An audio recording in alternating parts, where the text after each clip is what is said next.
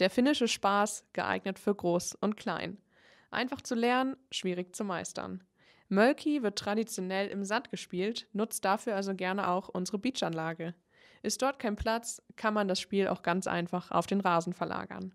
Mölki gibt's bei uns in der Maibox zum Ausleihen.